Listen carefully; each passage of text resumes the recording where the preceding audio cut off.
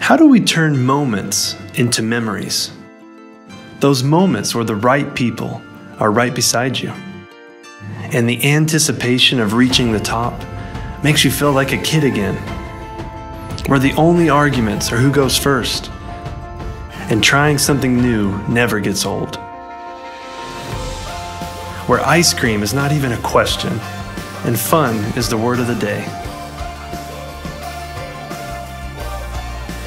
Those moments that speed you up and slow you down.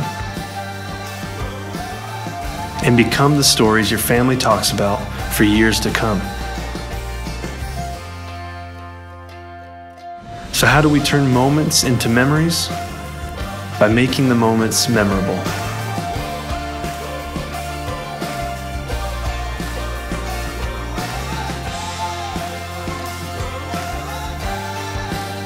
Visit us at Anakeesta, where there's magic in the mountains.